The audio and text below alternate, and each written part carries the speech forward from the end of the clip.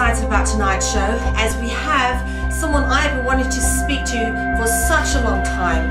Eric John Phelps joining us live from Pennsylvania in the United States.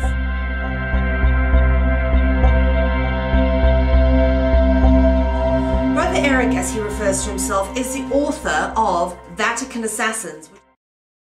We are very grateful to have you with us um, tonight live on um, Finding Voices Radio.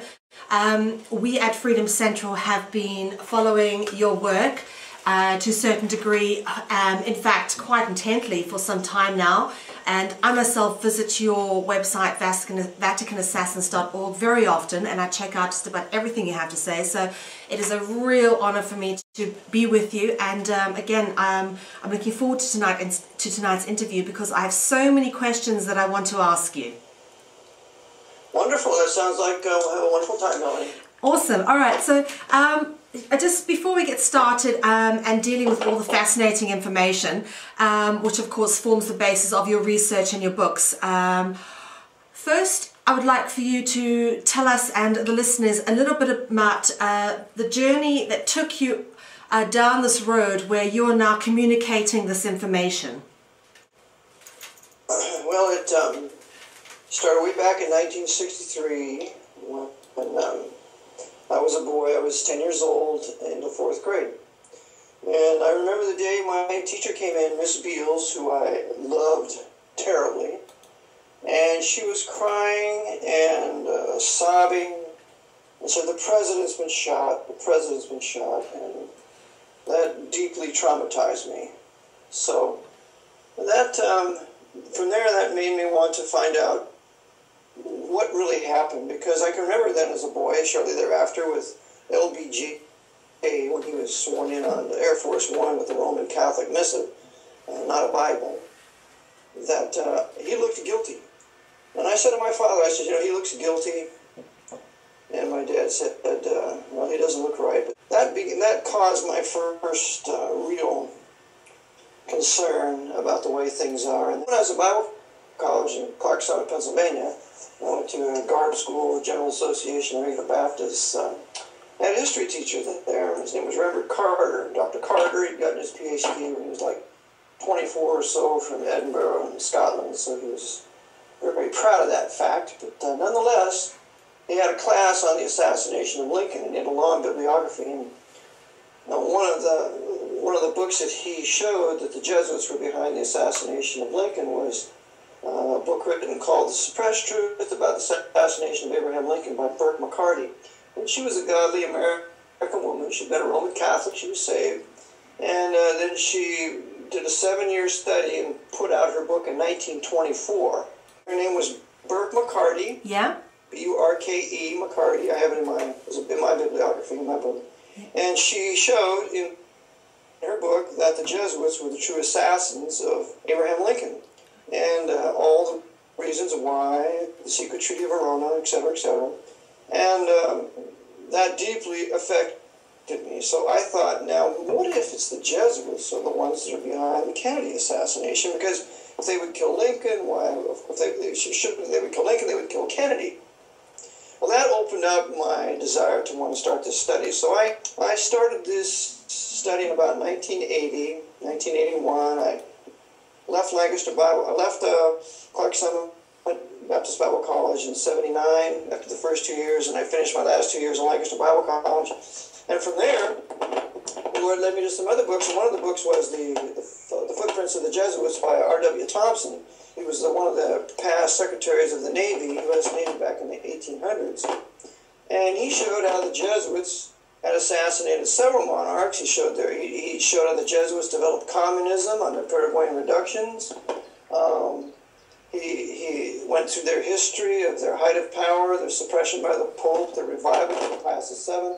And so I learned more from this. But he, he got tremendously into the Napoleonic Wars.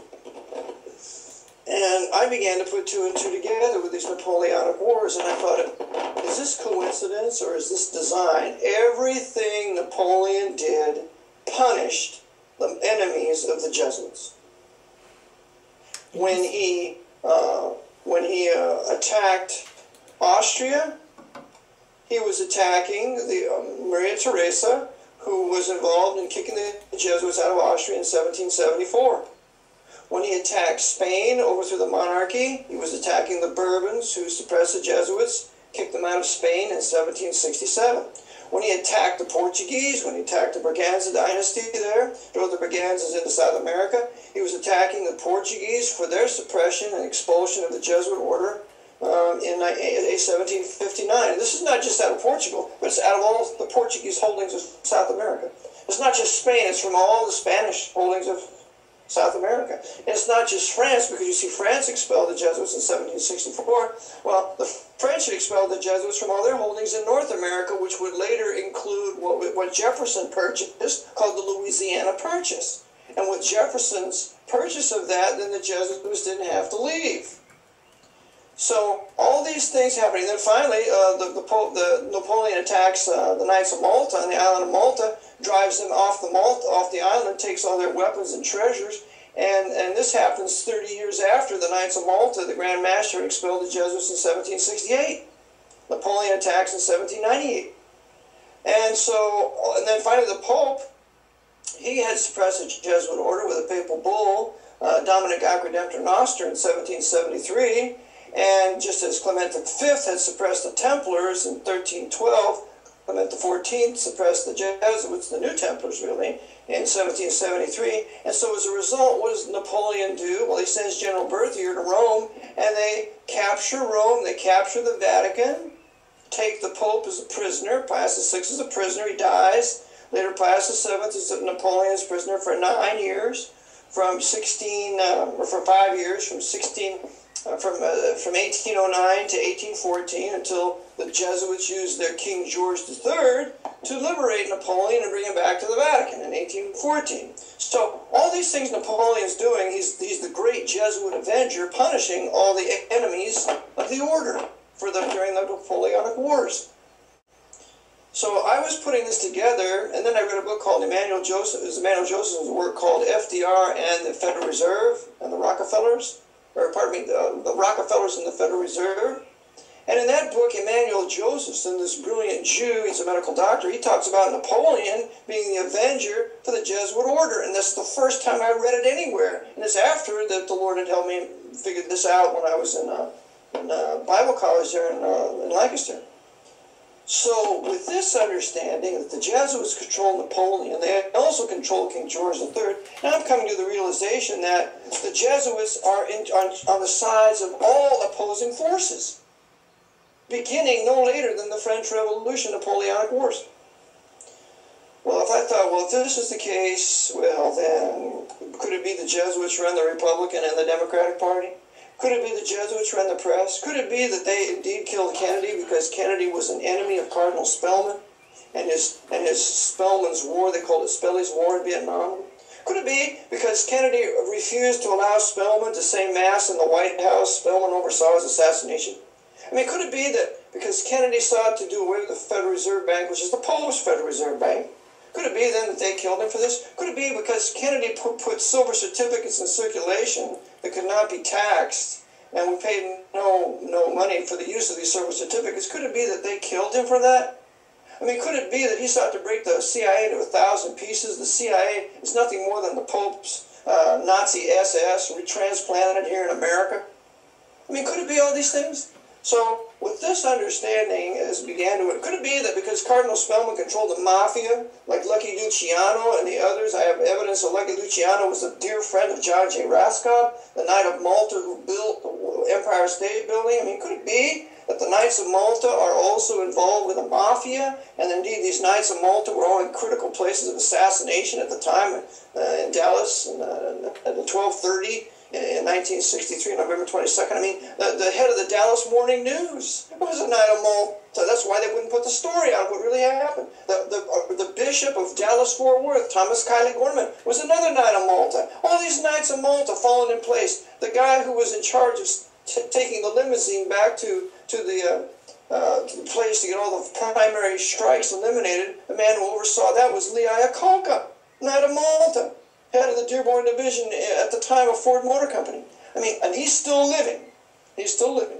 So all these Knights of Malta showing up in critical places of power. Frank Shakespeare, head of CBS. Um, you got uh, Cartha DeLoach, third in command of the FBI, which I maintain he really ran the FBI, ran Division 5. You have uh, James J. Rowley, who was the head of the Secret Service. His brother Francis was a Jesuit priest. I mean, all this is all this is completely falling into place, overseen by Cardinal Spellman. He running his American branch of the Knights of Malta. So with this understanding, that's why I wrote the book. It took me um, it took me 25 years to do the research. It took me seven years to write it, and three years to finally revamp it and have my third edition, where I nearly tripled its size. In that, Revelation 17 is describing the city of Rome that sits on seven hills, and in verse 18 it says, "In the great the, woman which thou sawest is that great city which ruleth over the kings of the earth. This brings into the reality of the Pope's temporal power. You see, the Vatican is nothing more than a geopolitical empire masked in Christianity, which is really ancient mystery Babylon religion. That's all it is. The Pope is Nimrod.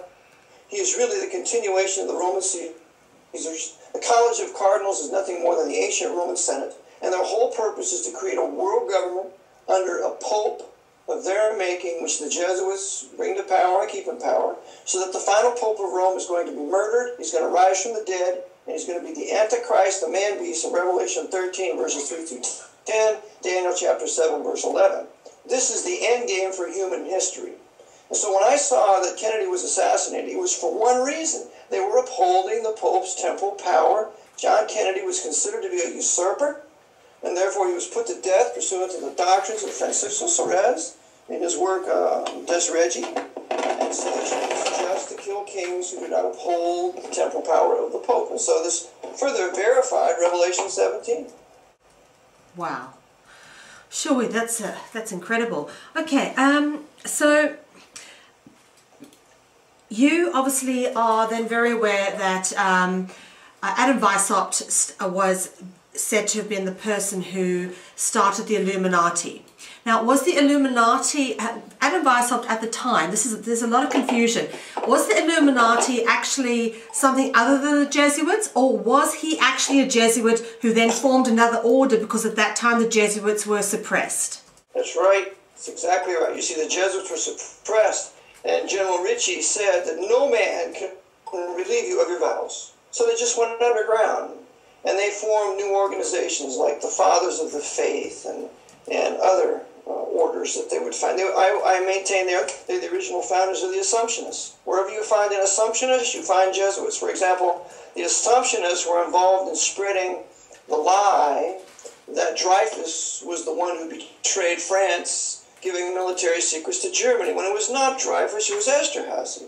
But the Assumptionists ran the paper and they were promoting this Jesuit doctrine of blaming the Jews. So the Jesuits assumed other names, but one of the one of the names they also assumed, or the organizations that they created on May 1st, 1776, was the Bavarian Illuminati. Remember, the Illuminati is born out of Roman Catholic Jesuit stronghold, southern Germany, Bavaria, the same place from which came that horrible 30 Years' War that killed half the German population, and the Second Thirty Years' War, which I call in my book, uh, from 1914 to 1945, World Wars One, Two, Bolshevik Revolution, Spanish Civil War, all part of the Jesuit Order's Second Thirty Years' War.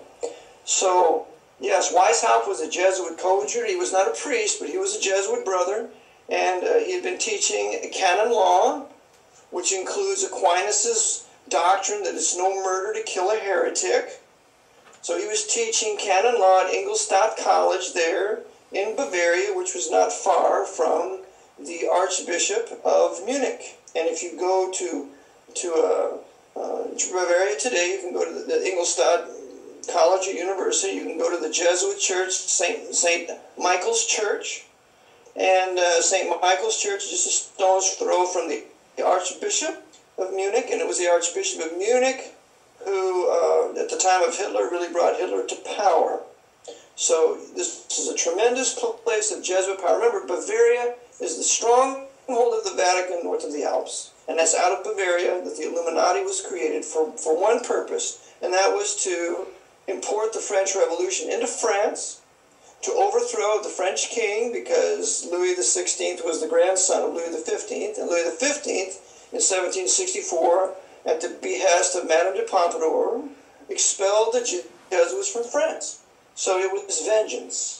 A day of vengeance. They were going to punish the Bourbons of France for this, and they used the Bavarian Illuminati to do it via Jesuitized uh, Scottish Rite Freemasonry. Wow. And of course, this is a, when they um, they guillotined um, uh, Marie Antoinette, and uh, the inventor, I think he was a Jesuit, wasn't he, of the guillotine? That's right. He was a doctor, and he was a Jesuit coadjutor. He was also a Grand Orient Freemason, and uh, he invented the guillotine because the Jesuits know that when you cut off people's heads, they're dead. This is how they instructed the Guarani Indians in Paraguay, in the Paraguayan reductions, to kill any white man that would come to their reductions because uh, the Jesuits did not want to know, let the monarchs of Spain and Portugal know of the huge, massive commerce that they were conducting out of South America with their black ships, making billions every year. They did not want the kings of Portugal and France to know this. And so beheading is their favorite way. And so they did a lot of beheading in France at the time of the French revolutions, killing their enemies with the Jacobins because the Jesuits ran the Jacobins. Okay, so let's just uh, put this all into perspective for people who are not completely aware. Um, if you wouldn't mind, Brother Eric, please take us through the true power structure and how it all fits together. Um, the Jesuits, particularly into the Roman Catholic Church. Are, do the Jesuits control the Pope? Yes, the Jesuits control the Pope, and any Pope that seeks not to be controlled by them will be removed one way or another, usually by assassination like uh, Clement XIV. When Pope Clement XIV suppressed the Jesuits in 1773, he was poisoned about a year later. They gave him a keta, and that's a poison that you can give to somebody, and depending how much you give to them, will determine how quickly or how slowly they will die. And they slow poisoned the Pope, and he died a horrible, gruesome death. It was so bad that they couldn't have an open casket for his funeral. And so uh, that's what they did. The Pope's uh, the Pope's skin turned black, his hair fell out, his fingernails fell out, his intestines exploded, left a horrible gas in the in the embalmer's chamber. They had to flee. It's horrible. And so this is what they did to Clement XIV as a message to any other pope that wants to suppress them. Well, uh, John Paul I sought to remove Pedro Arrupe from being the head of the Jesuits, and so therefore John Paul I was poisoned. And there's a book that was written by Avro Manhattan called, called uh, Murder in the Vatican. You can read the full account. So they control the papacy, lock, stock, barrel. They control all the orders, the Dominicans, the Franciscans, the Benedictines. They control them all. The, the, the, Dominican general must kiss the ring of the Black Pope, of the Jesuit Superior General. It's like the Redemptorist General and the, uh, and the uh, and all the other, the Vincentians, you name it, they all must submit to the Jesuit General. And he has Jesuits within every order. He has Jesuits within the Roman hierarchy. They have the they have the most extant intelligence community in the world. The Jesuits not only run the Vatican and they are and uh, Pro Deo, which is their intelligence operation, but the Jesuits run every intelligence agency in this world. They're all tied together by the Knights of Malta and the Knights of the Equestrian Order at the Vatican. So the Jesuit general is the most powerful man. Then underneath him comes his ten assistants. And those 10 assistants with the general are advised by 10, um, what's what my friend the Count of uh, Count uh, Vittorio Vivaldi calls the great Jesuits. And they're the 10 Roman families, uh, the historic papal Roman families that advise the Jesuit general. And these are the Borgia, Borgias and the Farneses and the Colonnas uh, and the Aldobrandinis. It's 10 of these families and uh, they act as advisors. They're the one that control all the currencies and all the gold of the world. The Rothschilds are mere peons compared to these ten Roman families. Uh, so you have then the, the, Roman families advising the Black Pope, and then underneath him, then you have um, the entire the Pope and the entire Roman hierarchy, and that's one arm of it. The other arm of it is all Scottish Rite Freemasonry, all the Masonic lodges, all of them are completely now controlled by the Jesuits. Then underneath that, then you have the various agencies like the Council on Foreign Relations and Chatham House there in London. Um, um, so everything else kind of trickles down. Remember, the Illuminati was started by Weishaupt, and he went into alignment with the with the Sabbateans, with the Frankists, which were Jews. Masonic Jews loyal to the Pope. Jacob Frank was baptized in the Catholic Church, and his sponsor was the King of Poland. He sought to have all of his Jewish followers convert to Roman Catholicism. So all the Masonic Jewish labor Zionists are busy being either covert or overt Roman Catholics, men like Abraham Foxman, who's the head of the ADL. He is a Jew, a racial Jew, but a Roman Catholic, a practicing Catholic, and a Knight of Malta. And the whole purpose for the ADL is to create anti-Jewish fury in America. So uh, the ADL, in fact, gives an award, the, the, the Augustine Cardinal Bea Award. And Augustine Cardinal Bea was one of the foremost Jesuits of the 20th century. He was a confessor of Pius XII. He helped foment the, the Eurasian Jewish Holocaust in Europe, and the ADL gives an award named after him. but what you see then, everything flows down from the top, from the Jesuit general through the Pope. But the whole purpose of the Jesuits, remember, they are the um, they are it's the Roman uh, guard for the Pope. The Black Pope is the Roman Praetor. The Jesuits are, are considered the Obsidian Order. They are the Praetorian Guard to keep the Pope in order and keep him on track because it's the devil's Pope that's to be brought to world power and finances in, in government, in politics, in academia, ultimately to be worshipped from a third Hebrew temple in Jerusalem. Now, um, do we have any idea when this is uh, prophesied to happen? No. No, we just know that there will be a third Hebrew temple built, pursuant to Daniel 9, verse 27, Matthew 24, 15, uh, yeah, Revelation chapter 11, verses 1 and 2. That's, that's a literal, uh, 2 Thessalonians chapter 2, verses 1 through 4. There's going to be a literal temple of God, a literal rebuilt Hebrew temple in Jerusalem, in which this Antichrist will set up his statue with his false prophet. His false prophet will be a Jew. And uh, the Jewish false prophet will set up a, a, a statue talk and move in this third temple, and everybody that doesn't worship the statue of the beast will be attempted, will be put to death, or at least the Antichrist will attempt to put him to death. And then this Antichrist that I call the man beast, of Revelation 13, uh, 3 through 10, he will also be the king of Babylon. There's going to be a rebuilt Babylon, and he will rebuild a temple there pursuant to Zechariah chapter 5. And there will be the commercial capital of the world. And now we understand why there's a war in Iraq. This is nothing more than urban renewal for the rebuilding of the temple in Babylon. Wow. Okay. So let's talk a little bit now. You've brought in the uh, sort of the Jewish aspect um, with this information. Let's talk about um, obviously the Zionists. That's uh, they they report to the Black Pope. They're controlled. They they Catholic controlled Jews. That's correct. Now let's let's review the Zionists. There's six different kinds of Zionists. There is the I call in my book the Masonic Jewish Labor Zionists. Now these Masonic Jewish Labor Zionists are a creation of the Jesuits by way of the Fabian socialists in England, who were really the creators of the British Labour Party. British Labour is nothing more than English Masonic Jewish Labor Zionists. So it's out of the British Labour Party that we have the Masonic Jewish Labor Zionists arising.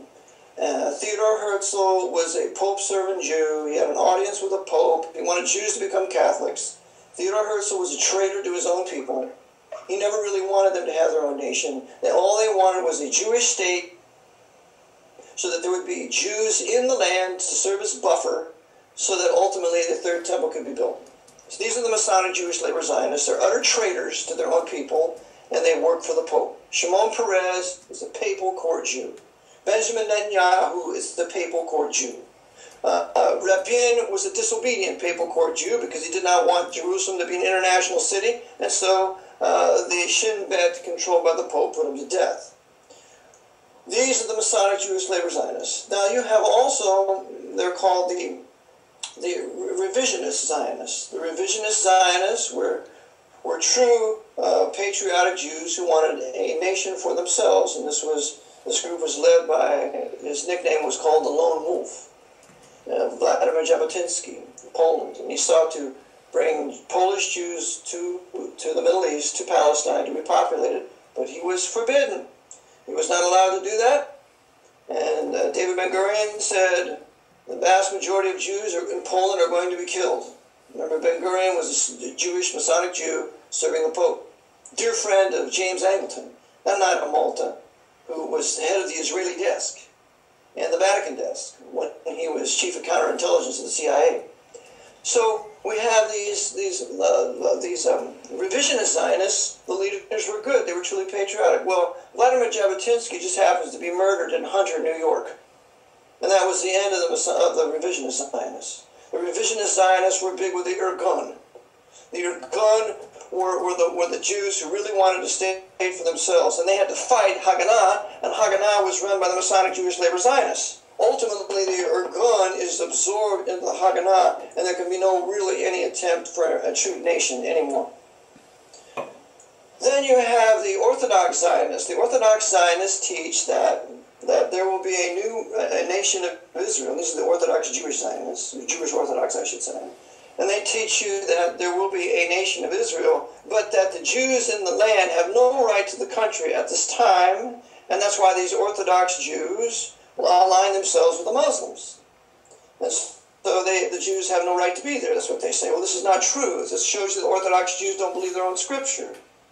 Because the scripture clearly teaches that there will be an Israel back in their own land in a condition of a temporary peace prior to the nation uh, prior to the national repentance of Israel, which we read about in Zechariah chapter 10, 12 verses 10, that they shall look upon me whom they have pierced, and they shall weep for him.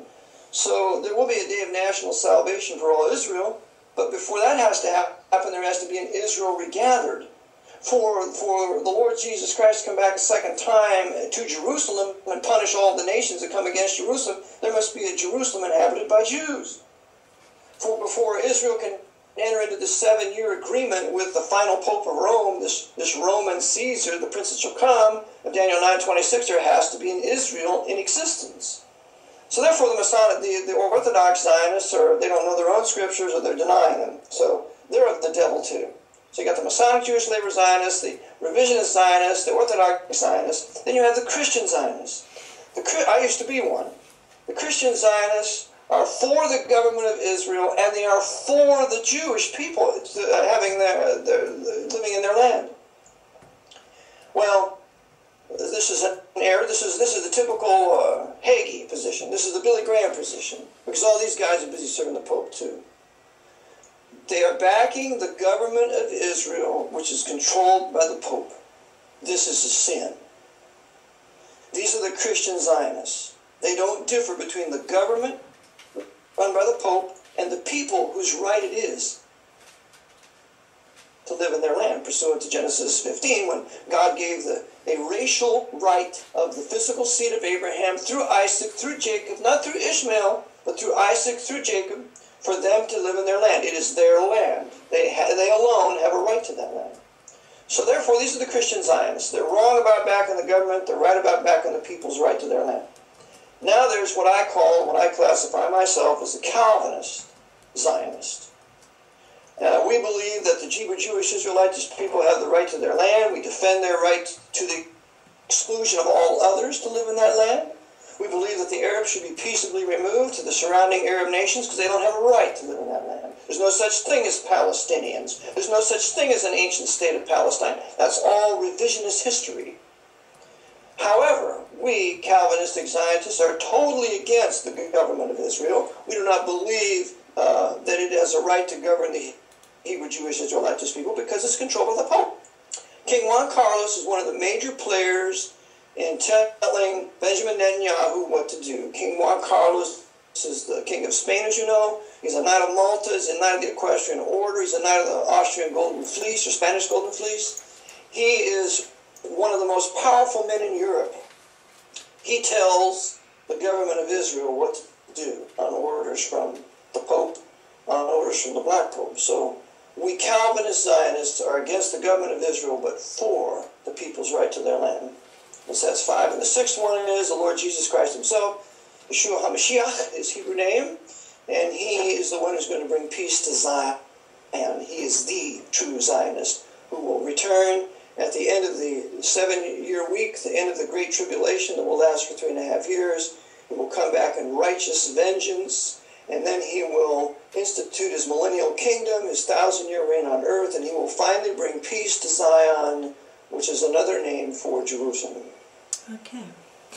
All right, so that's the Jewish perspective. Now, of course, um, this is very controversial and this gets me into lots of trouble, but it's very important for us to tackle. It is uh, this information of yours, Brother Eric, that um, where I learned about this, um, the Muslim perspective. And of course, uh, the, the Islam was a creation of the Vatican. Could you take us through that in detail and how you've come to know about this?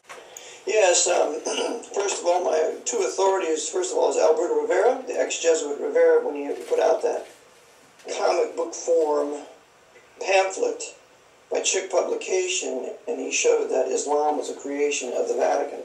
Then, as I uh, studied it out, I saw the parallels were identical. Uh, the, Vatican, the papacy has a common language. Its specific language is Latin. Islam's specific Latin is uh, Arabic. The papacy has a center city, Rome. Islam has a center city, Mecca. The papacy wages crusades the Islam wages jihads. Uh, the papacy believes in, in, in no separation of church and state, that the Vatican will control the government of a country. Islam believes in no separation of church and state, that Islam and Sharia law will control the government of a country.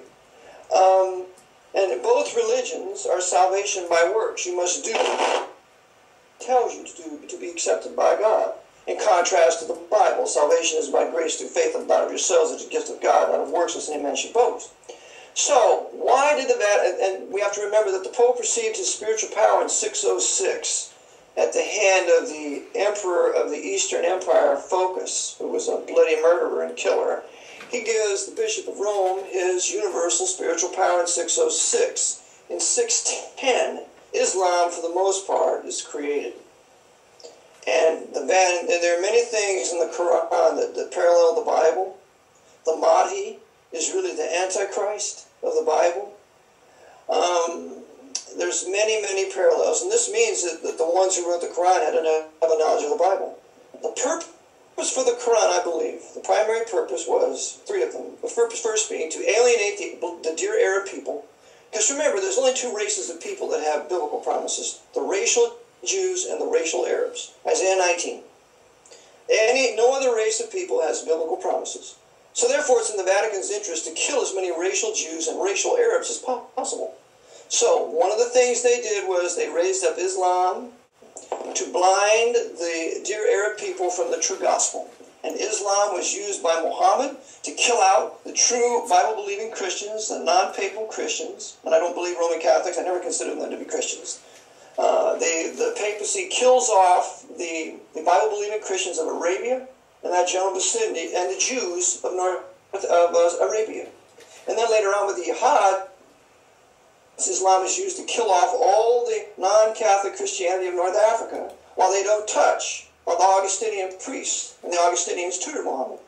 So, and then Islam goes up into Spain. What does Spain? What, what do they do there? They kill off the Arians that were non-Roman Catholic Christians. Now, I believe there's some of their doctrine was unscriptural, but they were not loyal to Rome. So they're going to use Islam to occupy Spain for 700 years to do away with this with this uh, group of Christians that was um, had a great antipathy towards the Vatican.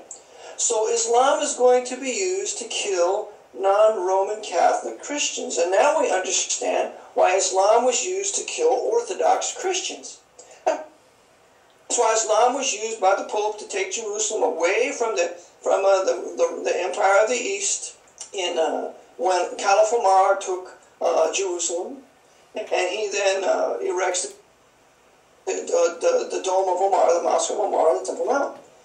Uh, later on, uh, the Muslims will be used to take Constantinople from the Orthodox peoples. In 1453, Constantinople will fall to the delight of Rome.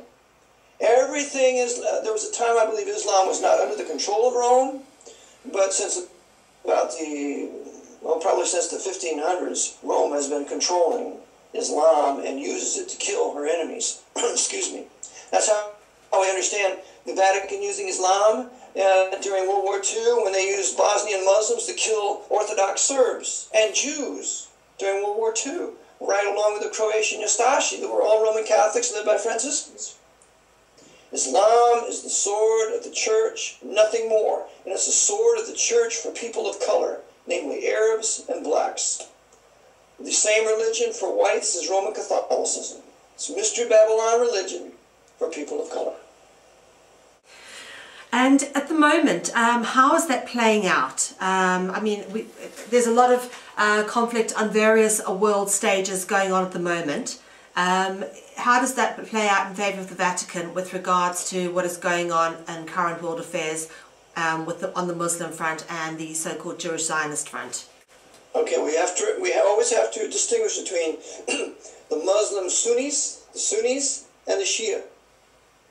The Shia arose after the death of Muhammad, and they followed Ali. And so you now have two factions of Islam primarily.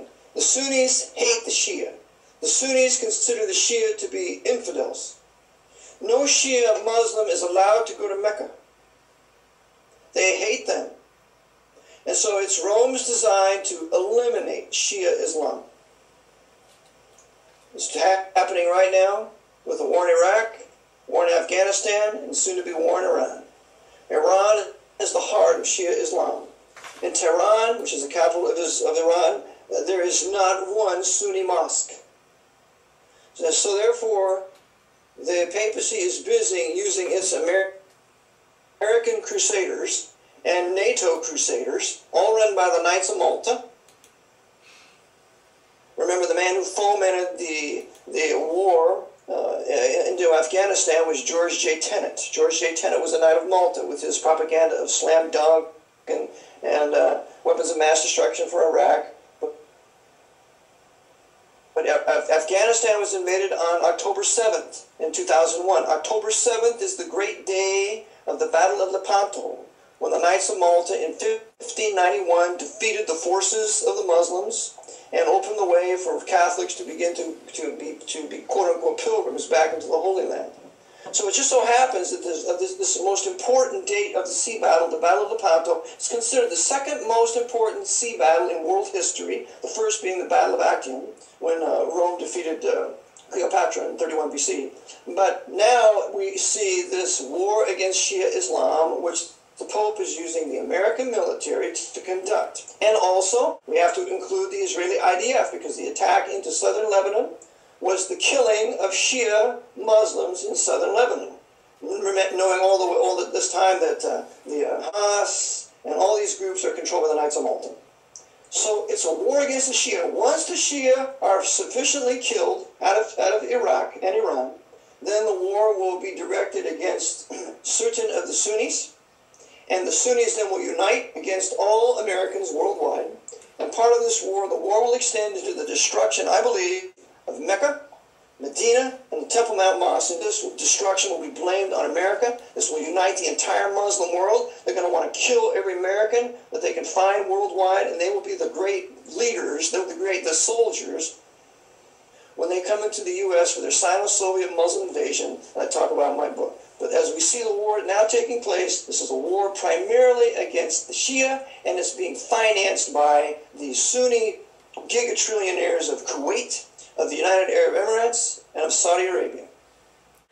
Tell us a little bit about uh, some of the Jesuit conspiracies. Now, obviously, I've read through Vatican Assassins, and um, there's there's a lot of very famous conspiracies. And what one of the things that I've found is that they the, the Jesuits tend to have a bit of an ego where they will whitewash and overly whitewash one of their uh, major conspiracies with lots of um, Hollywood films that they spend lots of money making.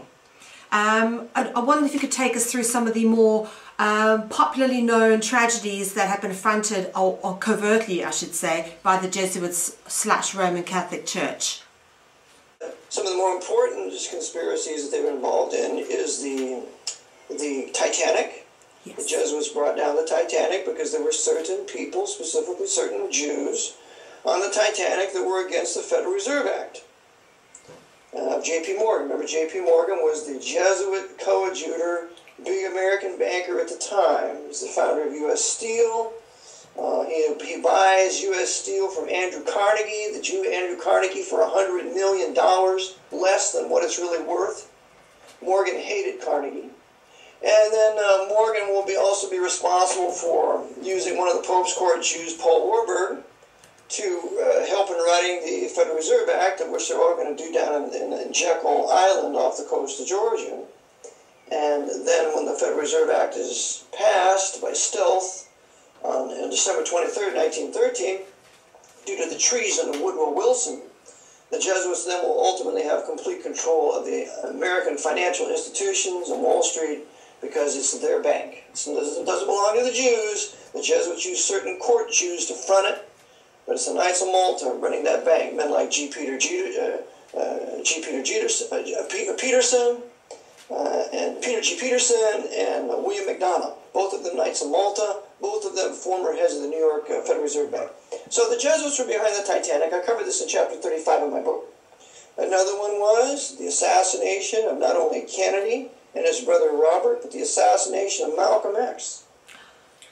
Wow. I'm, the, I'm the first guy that showed that Cardinal Spellman oversaw the assassination of Malcolm X because Malcolm X was a legitimate, true leader of American black people.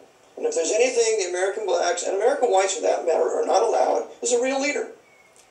The Jesuits also killed Martin King. Which they killed Martin King because he started to oppose Cardinal Spellman's Vietnam War.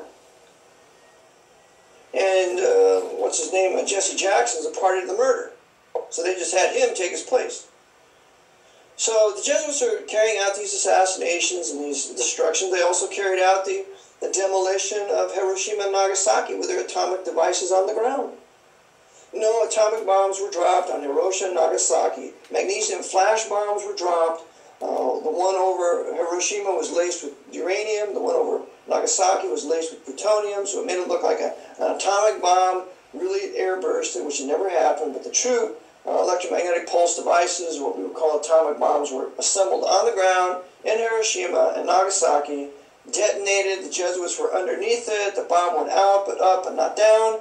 And the five, five Jesuits surfaced from ground zero, uh, attributing their survival to a miracle of the Virgin Mary.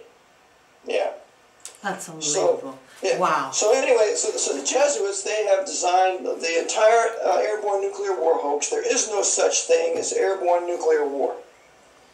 All we have ever happened is on-ground detonations. So the airborne nuclear war hoax was their design. Then, of course, that birthed the Cold War hoax, which is East is West, and mutual assured destruction, all that nonsense. The Jesuits were all behind this, controlling the intelligence community, CIA, KGB, of every faction. So the Jesuits have made uh, many, many movies on these kinds of things. Um, another one was, of course, the Boer War, if you want to get in that. Yeah, please. Absolutely. Uh, you know, South Africa is um, a country that's obviously my place of birth, and there's so much going on down there that um, a lot of people don't understand. And along with sort of, you know, how uh, how the Jesuits have been involved with sort of uh, things like apartheid in order to create um, struggle and strife within the country. So I really do want to cover all that, please. The Jesuits hated the Boers. The Boers were Protestants, Calvinists. And they were a combination of the Dutch, French, and German. And that's why they had their special African language, Afrikaans language. Well, the Boers sought to escape the Inquisition of Rome and Europe. So they set out on their trip, and they were Dutch at the time, so they sent out, they came down to Cape of Good Hope, to Cape Town, and then they went inland. And the Boers founded what later became the Orange Free State and the Transvaal. And they didn't steal the land from the Zulus. They paid for that land. And it was the Zulu chief, as I document on my website, who shed first blood. He started killing the Boers. He killed the leader of the Boers. They didn't do anything to him. They just wanted a place to worship God. So therefore, that led to the Battle of Red River, where some, what, 15,000 savage Zulus were killed because they sought to kill all the Boers. God protected the Boers, giving them superior weapons and superior marksmanship and superior uh, um, martial abilities. Then the Zulus made friends with the Boers, and the Boers acted as their mercenaries in exchange for land. So they would kill, they would go to war with the Zulus' black enemies in exchange for land. So the Zulu chiefs would give the Boers more land, which is, which is fine. So you have the Orange Free State, and the Transvaal, which is white Protestant Calvinistic, utterly accursed by the Jesuits. So therefore, how are the Jesuits going to get to the Boers? They're going to get to the Boers through England. Because you see, the Jesuits took over the British Empire no later than 1760 when King George III came to power. Everything King George did was benefited the Jesuit order. That's why he waged war against the Protestant Calvinists, the white Protestant Calvinist American colonists. He sought to reduce us to the Anglican Church, and he also sought to incite a servile war of blacks to kill off the whites in North America. And Jefferson wrote of this, and he was going to make it an article in the Declaration of Independence, but he was not allowed to put it in. I have it in my website. I have it in my ConCon. So therefore, in the, in the, Jesuit orders designed to destroy the Reformation worldwide, they set out to get to the Boers. And so what they did was, is they they incited the British, they incited the British to kill the Boers in the First Boer War and the Second Boer War. Queen Victoria was completely in the hands of the Vatican. She opens up diplomatic relations with the Vatican in 1885. The English branch of the Knights of Malta is founded about this time. Queen Victoria, with her with her uh, prime ministers uh, Viscount Palmerston and Disraeli, are both busy serving the Pope using the British Empire and the flower of British manhood to destroy the Protestants of South Africa. Well, the Boers, uh, to begin with, they won. They were they whipped the British pretty stoutly, and uh, but still, the Vatican set out to completely destroy that empire. So they absorbed South Africa and, and the British and the, and the Dutch states there, and ultimately the Boers still wanted to revolt against us. So they started their they had their Dutch Republic, they had their South African Republic under Henry Verwoerd. Henry Verwoerd was, I believe, from the Netherlands also. He was reformed. He was a righteous white man and a Calvinist. So, Henry Verwoerd knew this, so he had not only had apartheid or racial separation, but he also was for the creating of a new black nation within South Africa and a new white nation, which, oh, oh no, the Jesuits will not allow this. So what does Henry Verwoerd get? He gets knifed in the South African Parliament, blood all over everywhere, and the Jesuits running the South African South African government do not allow the rug to be changed for four years. The bloody bloodstains of Hendrik Verwoerd are going to be seen for four years as a warning to anybody in South Africa that wants to have their new white Protestant nation. That cannot be allowed to happen.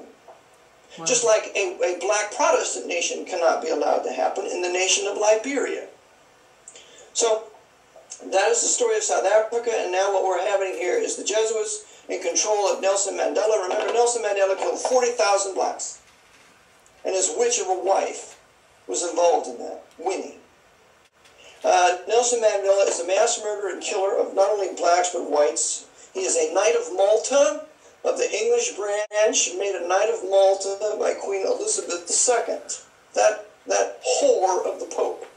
And that's right, she's the Dame of Malta, uh, Dame of the Order of the Garter. She kisses the ring of the Pope. She's a complete and total slave. And this is where I teach people this is the Pope's white power structure. This is the international white power structure destroying white Protestant nations, uh, black peoples that are Protestant also, like Liberia, because the temporal power the Pope must be restored, and if that's going to happen, there can be no nation born out of the Protestant Reformation anywhere on the face of the earth. This is what's happened to Rhodesia. Rhodesia has been totally destroyed by forced miscegenation. Robert Mugabe was trained by Jesuits. Robert Mugabe is a member of the Order of the Garter. Robert Mugabe, Mugabe uh, is the friend of Queen Elizabeth II, and he's a servant of the Pope. His policy was to kill out or drive out all the whites of Rhodesia, aka Zimbabwe. And now, since this has happened, Zimbabwe is a poverty stricken, broken, starving nation. And this is exactly what's going to happen in South, South Africa in five years. many of the white South Africans have left. I understand there's only two to three million left. They're being robbed, raped, and murdered by the, I call them the majority savage blacks of South Africa, run by the African National Congress, encouraged by that wicked Bishop Tutu, that Jesuit, and that wicked uh, uh, South African President Zuma. They're all busy killing off the historic white Anglo-Saxon Protestants of South Africa, which made South Africa the wealthiest and greatest nation in all of Africa. Johannesburg was the wealthiest city in all of Africa because it was white, it was it was successful in business and diamonds and gold and so on. The Jesuits will not allow that. So now they're busy killing off all the whites. And the whites that cannot escape South Africa are all going to die within the next five to ten years. This is nothing more than the Jesuit orders of Counter-Reformation, using the blacks to do it. And they're not only doing it in South Africa, they're doing it right here in America, they're doing it in Canada, they're doing it in Australia, they're doing it in England, they're doing it in every historic white Protestant nation because there can be no more nation that is white, that is Protestant, that adheres to the Reformation Bible, and that has a, um, has a middle class. All those nations must cease to exist. And hence, now we understand what the Jesuits have done in South Africa. Can I ask you, just so we can clarify, the Jesuits don't really give a damn what race um, is fighting on their behalf as long as it's on their behalf. Is that correct? That's correct. That's absolutely right. And they will use and, one race to drive out another race so long as um, they basically have a real system of if you're their enemy, they, they, they'll do, it doesn't matter what color you are, who you are, they'll just get rid of you. That's right, but remember, they especially hate the whites the whites who are historic Protestants and Baptists because it's the I maintain the most evil men in the world are white and the best men in the world are white.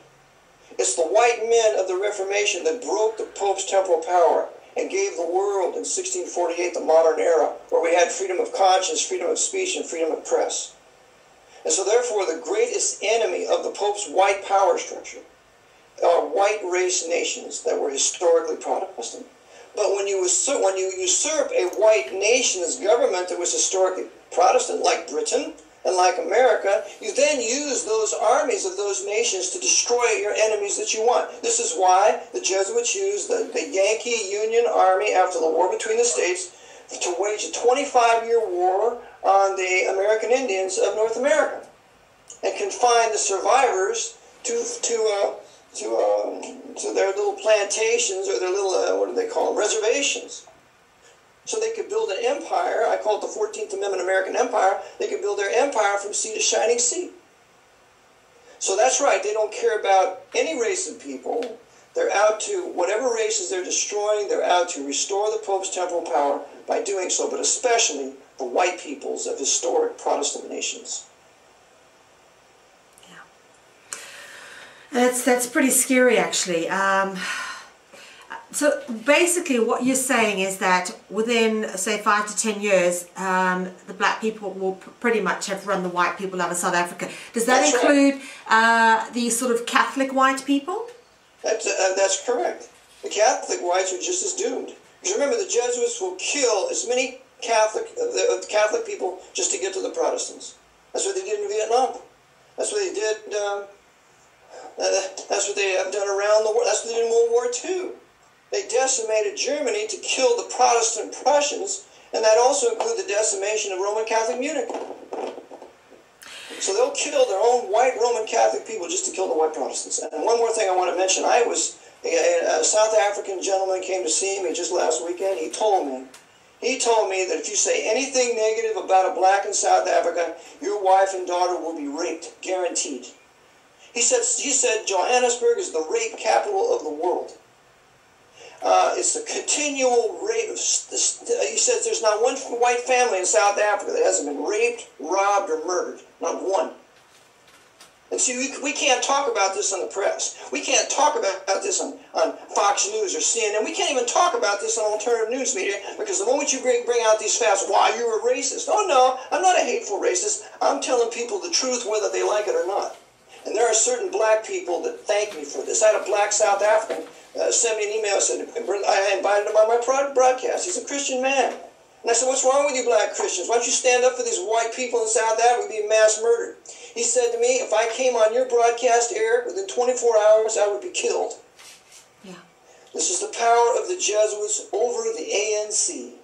And the ANC having driven all the blacks of South Africa into their radical socialist communist white man hating party. That was the purpose of Mandela, to kill 40,000 blacks to instill fear and terror in them to all join the ANC so they can ultimately wipe out the whites of South Africa. And when that happens, you have no more food production. And so the blacks of South Africa, just like the blacks of Rhodesia or Zimbabwe, are starving to death.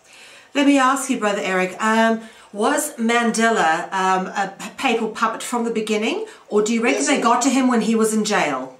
No, no, he was from the beginning. And they put him in jail to create an international sympathy for him. Well, there's actually there's proof that he, you know, on Robben Island that he didn't actually live in his cell. He lived in a mansion on the island. Oh, okay. I never heard that. Thank you for telling me. So he lives in a mansion on the island while he's quote unquote in prison, busy working for the. Better you know, he was the utter stooge of Bishop Tutu, the Anglican Bishop Tutu. Bishop Tutu was a formal, formidable Jesuit. No, I, I know a former bishop, Roman Catholic bishop, who got saved, Gerard Beffard. He knew Bishop Tutu when he was a priest in South Africa. He said he has pictures of Tutu with the Jesuits. So tell me, uh, Bishop Tutu, is he actually then, because he seems to be like, as a South African, when we look at him, he seems to be like the highest ranking religious leader in South Africa. Would he then be uh, more powerful than, say, our president? Of course.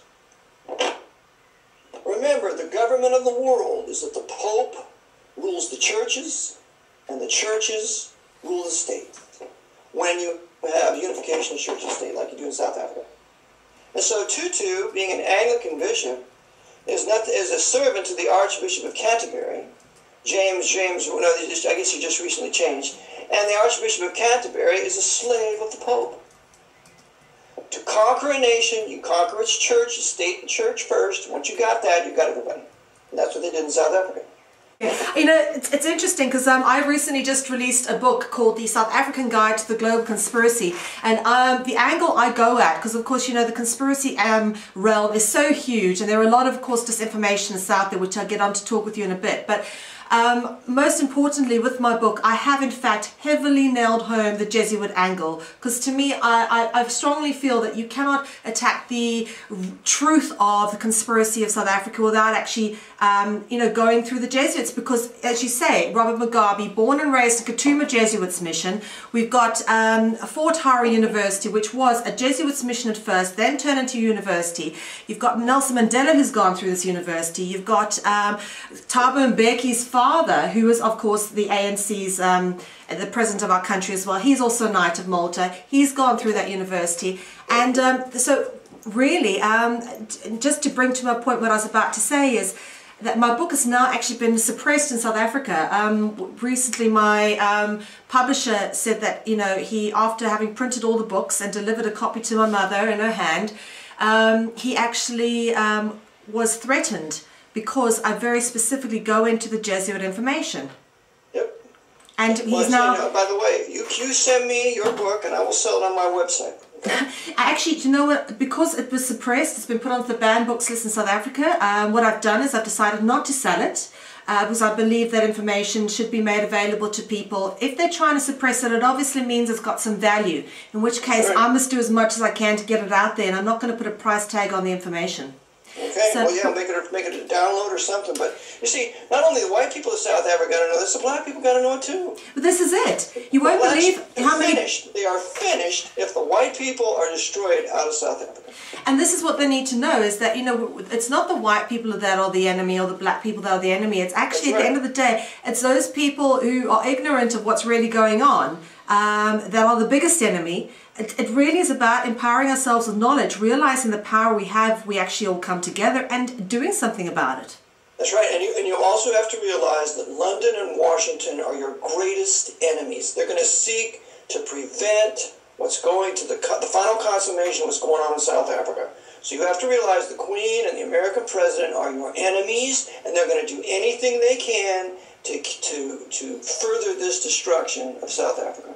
Yeah. Well, Brother Eric, don't you worry. I'll be sending you the link and you can put it on your website if you wouldn't mind. People can download it and read to. it. Happy to. Thank you very, very much. Of course, that'd be a great help to us. Um, the, the other thing that, um, of course, I wanted to speak to you about, which I find very interesting, is of course, there is a lot of uh, Vatican control. In fact, Vatican controls the media. All right.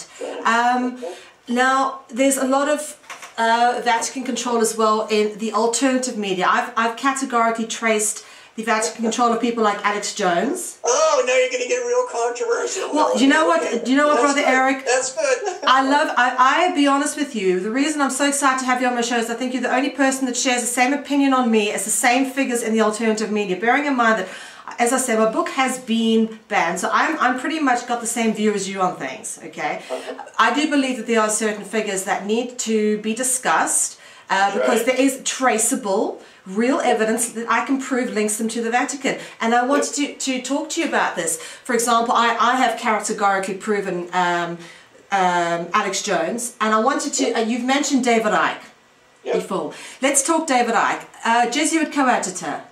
That's right. David Icke doesn't want to take you to Rome. David Icke doesn't want to blame the Jesuits. I saw a video on him where he says, uh, he said, you said something about the Pope. He said, I never said that about the Pope. David Icke, I maintain David Icke is heavily involved with British intelligence. And British intelligence has been controlled by Rome for, for 200 years. And he wants to get your attention. You, you will focus on Scottish Rite Freemasonry, of course, that's good. But he never tell you that the headquarters of Scottish Rite Freemasonry is in the Piazza del Gesù in Rome, right next door to the Jesuits' mother church, the Gesù. He will not tell you that in the Masonic ring with the G in the center, it doesn't stand for generation or Gnosticism, it stands for Yesu. Even F. Tupper Saussy brings that out in his work, uh, Rulers of Evil, and he was a Jesuit coadjutor. So, now David Icke is one most assuredly, until he comes out and starts attacking Rome and, and, and, and not blaming the Jews in particular. He starts, when he starts to want to say, it's the Jews serving the Pope that we need to focus on here in this particular instance. When he wants to start doing those things, and I withdraw my charge, but until such time, he is most assuredly a Jesuit coadjutor. Thank you very much, Brother Eric. We've said the exact same thing. To be honest with you, uh, he- we feel the same. The fact that he doesn't actually turn around and say that the Catholic Church controls the Zionists. He talks about the Zionists and the Jews as if you know they're a separate entity. That's one of the things I've said. And the fact that he, in his information, and this is. I have done. I've read, read every single one of his books. I've written reviews for his books, which is posted on his website. He sends books to my house once he's written them before they go out to anybody else you know, like as, as people, one of the people who write reviews for him. So I get to see all his work, and I can tell you honestly that he never ever goes into the Jesuits, ever. He doesn't, he's never, in his 20 books, 700 pages, some of them, ever published the extreme oath of the Jesuits. That's right.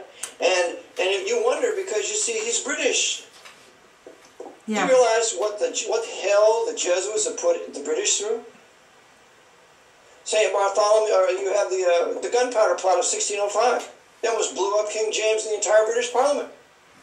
You have war after war that they get the British involved in. You, you have the, the Jesuits taking over the, the crown, and by, by George V, that Knight of Malta, he's going to uh, participate in World War One, and he's going to use General Haig in World War One, Marshal Haig, to order the flower of white Protestant British manhood into the face of German machine guns at Passchendaele and other places. The Jesuits have slaughtered the best of British manhood using the crown to do it. And Icke knows all about it, but he's not going to say a word about it. Yeah. I definitely get the sensation that um, I've, I've uh, interviewed him twice in person, and um, I most certainly get the idea that he knows a lot more than he's letting on. Particularly when he started talking about how they wanted to build a second, uh, the third temple in Jerusalem. And now, how would he know that unless he was in on this information? He was really he was talking about it, and then I started to question him, and he became very vague, and I found this suspicious. This third temple in Jerusalem really is the heart of what the Jesuit plan. That's right. That's why you see. That's why the Jesuits have hoarded all the gold. Remember, they hoarded all our American gold with FDR when he made it illegal. Uh, executive order for Americans to hold gold. What they do? They melted it all down, all the coins down. They put it in Fort Knox because we've been under emergency war power since March 6, 1933.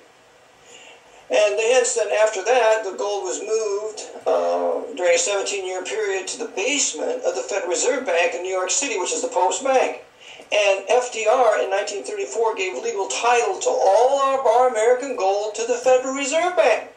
So they now have hoarded all the gold of America as well as every other country, and they're going to use that gold. They're going to use it as as uh, part of their beautifying of the third temple in Jerusalem. And so the Jews are going to be blamed by the world. Look what they did. They hoarded all of our gold. That's our gold in Jerusalem when it's the Vatican that has done it, when it's the Jesuits that have done it, because the Jesuits are seeking to create worldwide anti Jewish fury to ultimately attack and kill every Jew in Israel one day. Okay, so something I'm very curious um, to, to ask about. Uh, I've been uh, campaigning heavily uh, on regards to justice for children. As you know, there is it's very open now. It's um, about the paedophilia scandal and the abuse of children within the Roman Catholic Church, which I think has been the fundamental breaking point uh, for them. Okay, uh, uh, on everything. I think this is now, it's come out to such a great degree and it's now so openly publicized. And we've got people like uh, the wonderful Reverend Kevin Annett who's taking these people on um, and, and, exposing them, which I've, you know we had Kevin Annett on a few weeks ago. So we're working closely with him with his work. We obviously have huge support and respect for what he's doing. Um, but now I, I, I, was interested to know, um, Brother Eric, I don't really still get the whole necessity for abusing and hurting children and why it's so prolific within the Roman Catholic Church why what is this what is this uh, is it part of their culture? Is it part of their ritual? Is, is it written in their doctrines? Why has it become such a institutional practice that's been going on for so long and it's only been exposed now when it's such a horrific thing? Well see i believe a lot of these roman catholic priests are demon possessed yeah. And so therefore i don't put anything by them um, it's not in their doctrine to be pedophiles, but it's part of the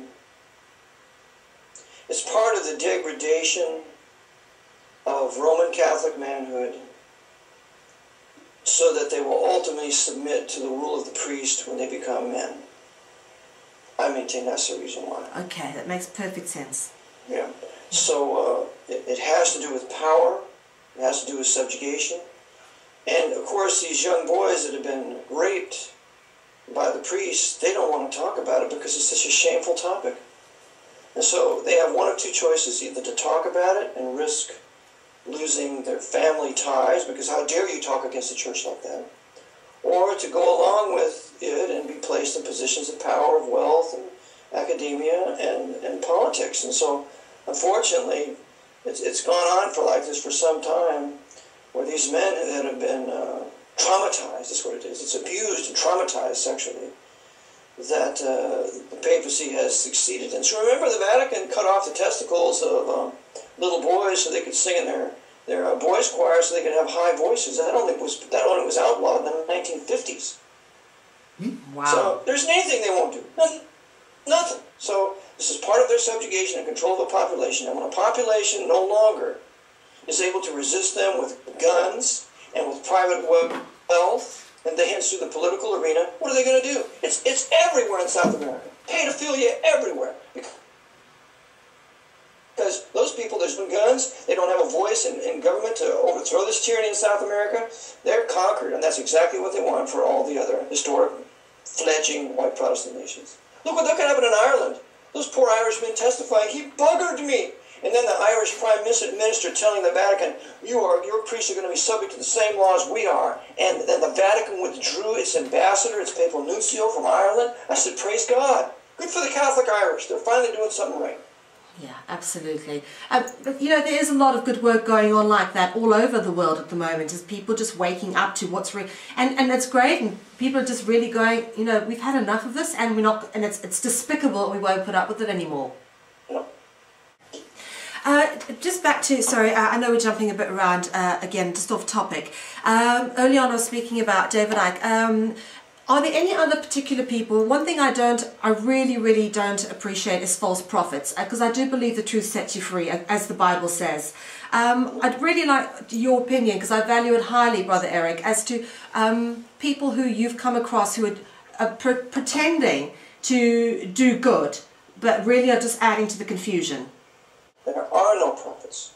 So anybody who purports to be one is a liar, like Harold Camping, who said that, oh, the end of the world is going to come, what, in October 1st or something, or sometime during 2011. It didn't happen. Yeah. And now it makes, it makes Christians look like fools. Well, I denounced that sinner from the very time he started with his 1994.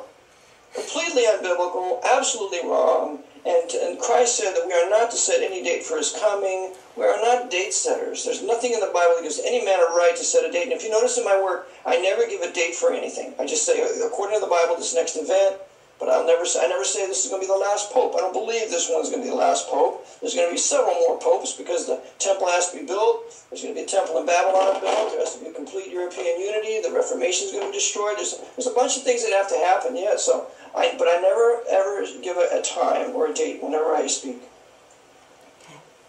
And in terms of alternative media, um, people like Alfred Webre. Yep. Is he a Vatican? Co- is he a, an actual Jesuit coadjutor? Sure is. He's a Knight of Malta. His uncle was a Jesuit, an advisor to the Black Pope. Wow. And I called him that, and he publicly denounced me, and he helped put a, a defaming article up written by uh, uh, a couple other guys. But yeah, he really hated me for calling him a Knight of Malta. And I found it out through a mutual friend that, that, that approached him on this, and he admitted that his uncle was a Jesuit. Alfred Webre is working for the papacy. That's why he calls for the abolition of the U.S. Constitution. And now, it's, as Alfred Webre has kind of infiltrated the same sort of truth movement that David Icke seems to be heading up. Um, are there any other uh, sort of people in that movement who are directly linkable to the Vatican? Well, Think Stan Monteith is. Now, Stan Monteith's always been nice to me, but he was a member of the Council for National Policy for years. He said he's no longer a member. I have another source that says he's a Knight of Malta. But he gets people on his broadcast for their Opus Dei, and he's very and he's civil and and, and, and, and supporting, I should say. He's supporting to these Opus Dei guests. Opus Dei was created by the Jesuits in 1928 for, for the purpose of destroying uh, any any revolt uh, that would rise up, like in uh, like in Spain when the Spanish kicked out the Jesuits in 1931, 1932. Franco used Opus Dei to wage his civil war, killing two million Spanish people for the Pope. Opus Dei was all part of this. Pinochet is his right hand man, and, and, and what in Chile he was Opus Dei. Pinochet was uh, Knight of Malta. So when you got Monteith having Opus Dei on his broadcast, and he has nothing but good to say and encourage people, that's all nonsense. So I tend, and he never, never really goes off into the Jesuits. I mean, because he told one of my friends that he says he has a lot of Catholic supporters. Well, isn't that too bad? The Catholics are entitled to the truth. And if you're going to tell the truth that they want to support you, that's fine. But if not, that's fine too. But he will not go to the Vatican and say that it's the heart of everything. He always blames the Anglo-American power structure. His, I quote his book, Brotherhood of Death, in my book. He has several good things to show that the Bolsheviks were not run by the Jews and that the American governments financed the Bolsheviks, etc. But he never, never hammers the Vatican. When I was at the 2008 ConCon uh, in Santa Clara, he came to where I was at and he was nice to me. We spoke a little bit. He's a very civil gentleman, but he's not going to take you to Rome. He's one. And we might as well go to the entire RBN network. RBN won't tell you about the Jesuits. I was invited several times to be on my friend Bill Deagle show, and I said uh, that I'm going to deal with the Jesuits. I don't care who it is. And then I called Alex Jones, a Jesuit coadjutor, and Dr. Deagle told me that I'm, I'm going to have to recall that, or I'm not going to be on his program anymore. I said, well, I'm sorry, Doc. I mean, I like you, you're a friend, but I'm going to denounce Jones as a coadjutor. So he didn't have me on for a while. Then he contacted me back and said, Eric, I'm sorry for what I said. I'd like to have you back. I said, okay, that's fine. But you know, I don't think today he's hammering Jones because he's on on really Alex Jones' alternative radio station. So I, I, like the doc, but I think there's some sort of problem there. And then you got Sean Morton, uh, Sean Morton, uh, uh, Sean David Morton. Sean David Morton working with George Noory. Both of them are Jesuit coadjutors. Now, Sean David Norton was nice to me. Sean uh, David Morton was nice to me at the 2008 ConCon. He gave me a copy of his book, Black Cherith which was a story about a weapon that had been created, a biological weapon to create to kill all the Jews. That was his book. And uh, I gave him a copy of my CD, he gave me a copy of his book, but he's a Knight of Malta. John David Morton's Knight of Malta. It's like Len Horowitz, he's another Knight of Malta, which he's presently suing me for calling him a Knight of Malta. I'm one of 50 defendants in the lawsuit, along with David Icke and Alex Jones and Anthony Hilder. He named all of us as, as uh, people that want to destroy his business and maligned him and so on. I like to call him as a Knight of Malta because that's what he is. It's on his website. So you got all these people. I maintain the vast majority of them are Jesuit coadjutors. They all want to blame the Rothschilds or the Rockefellers or the Jews. They never take you home to Rome. They're never going to hammer the Jesuits. And this is a business for them, you see. This is how they make their money. And if they would start blaming the Vatican, they're not going to have a business anymore. They're going to have to go to work like I do. so I mean, this this is a this is a what would would you call it? It's a, hobby for me because I can't make any money doing this. They, they pirated my book all throughout the world. I make I might sell one or two CDs a week. So that's okay. At least the message is out. But these guys, they, they count on this as their livelihood. And so if they would blame the Vatican, that would be the end of their business and their livelihood.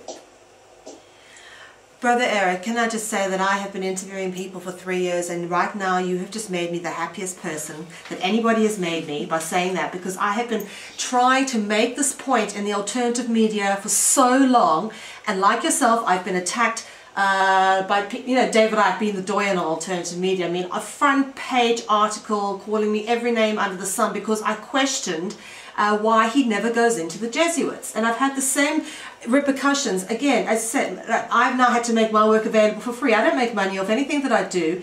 And those people, and I've said the same thing, those people who are able to make a living off it, they clearly aren't attacking the Vatican. That's right.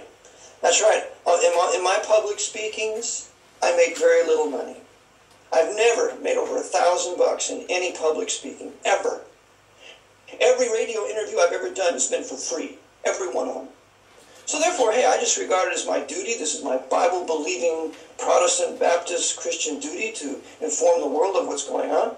So, but we also have to remember the words of Shakespeare. Remember Edward de Vere, the 17th Earl of Oxford, Lord Great Chamberlain to the Queen. He was really Shakespeare, not Francis Bacon. He said in one of his plays, Thou dost protest too strongly. And this is evidence of guilt. This is evidence of being a coadjutor. When somebody says, I think you're working for the Jesuits, instead of rationally going in, well, why would you say that? Well, here's why I said this, and this is why I say this. So I'm not, a, I'm not working for the Jesuits. But when you attack the person who, who merely tells about the Jesuits, then you're protesting too strongly. This is obvious evidence that you're in on it, and hence David Icke and Jones and all these other sinners are in on the bandwagon. By the way, Alex Jones is a very wealthy man, and, I'll, and you tell me where he gets all the money for that website.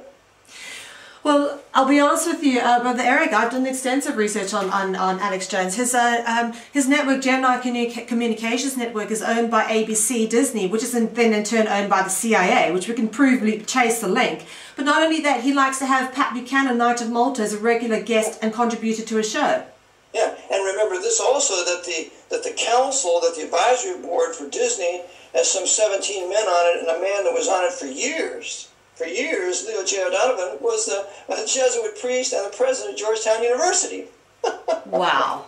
Yeah. Unbelievable. So, um, you know, this is it. I, have said, I myself have worked in mainstream media and I know what it goes. Pe people who don't understand look at Alex Jones every day go, do you know how much it takes for that production, for his researchers, his production team to put out that amount of information that often? It yeah, takes yeah. a hell of a lot to run that network where he's not getting it from, he's not getting it from donations. That's right. Not at all. And he's not writing his own articles. I, I write every one of my articles that's on my website. And when I don't, I put the name of the guy who did, like Rob Hilson. No, he's he also is able to go on Fox News. Now, this is very important. The Jesuits' right wing uh, movement to create the new Nazi right wing in America, the spokesman for that is Fox News you have all these radical right-wing Roman Catholics on there, like Sean Hannity and Bill O'Reilly and a host of others, and they have they have legitimate grievances, but the results are never what they should be done, naming state secession and cutting away from Washington. We have to get something new going on in Washington. So the whole new right, started by of Malta, J. Peter Grace, with Paul Weyrich and, and a host of others that were subject to Roma. Uh, the former head of Rite Aid, Lewis Lehrman, that Jew, became a Roman Catholic and a Knight of Malta, owner of Rite Aid. They were, these men were all creators of the new radical right wing movement in America that is culminating in the Tea Party movement. Now, all those white people have legitimate grievances, but they're being sucked into the radical right wing movement that will ultimately bring about a new Nazi fascist military dictator that will kill every Jew in North America. So this is the end game. Fox News is behind it, and Fox News has hosted Alex Jones many times. Mm-hmm. He's been hosted by Geraldo Rivera, Jerry Rivers, who is a court Jew working for the Pope, and he was in on the Kennedy assassination cover-up. That's why they made him a announcer every year after that, for every year after that, just like they did with uh, Dan Rather. Also, an interesting thing that I, I wanted to talk about is um, this Bohemian Grove. A lot of people don't understand the Catholic connection. Bohemian Grove was started by the Jesuits. Their patron saint is is a uh, man who refused to tell what was, was, confessed in the confessional. I cover this in my uh, yeah. In my, uh, I think it's from John of Nepomuk, isn't it? That's right. He's the patron saint, and he's championed by the Jesuits championed by them. The other thing is, Bohemian Grove was um, was started, it was created just 60 miles north of the Jesuit Order's military fortress in San Francisco, and that military fortress is the University of San Francisco. The University of San Francisco is run by Jesuits. They control the Archbishop of San Francisco, who was once Levada. He's now the head of the Inquisition in Rome. And the Bohemian Grove is the place where the Jesuits go to engage in their orgies and high worship and human sacrifice. The this is obviously the the dark heart of the beast. This this sacrifice and orgy. Now this is as you said, this is all demonic.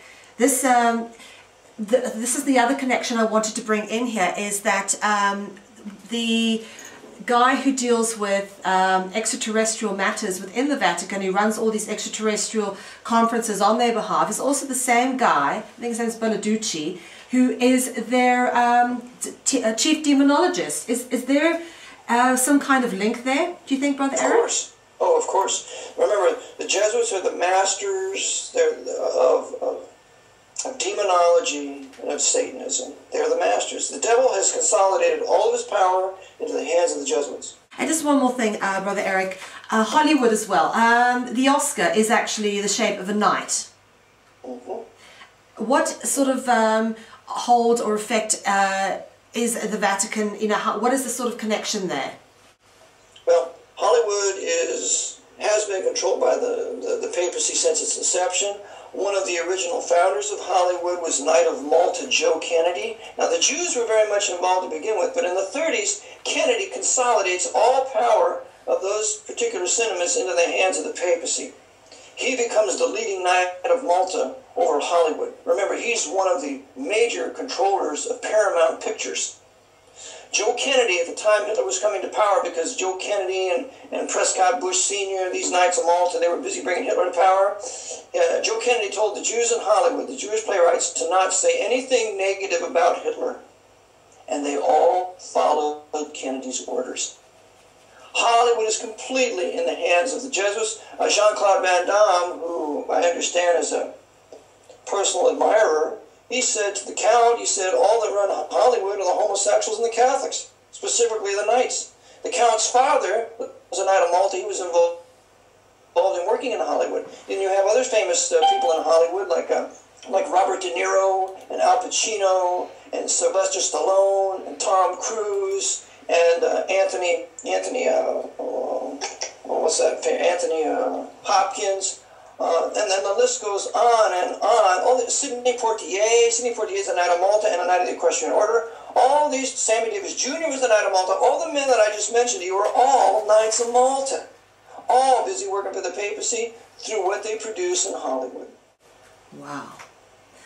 Well, Brother Eric, this has been an absolutely riveting conversation, and um, uh, we've come to the end of it, unfortunately. But I would just like to say thank you very much for joining us this evening. Um, we have a lot to mull over, and I look forward to getting this interview up on video form. So, thank you very much from all of us here in the Netherlands and at Freedom Central, and also from all the people uh, who have listened in. Um, they've been absolutely riveted with this information. So, thanks a lot, and um, I hope to catch up with you again soon. Sounds wonderful, Melanie. Lord bless. God bless you too, Brother Eric. We'll speak soon.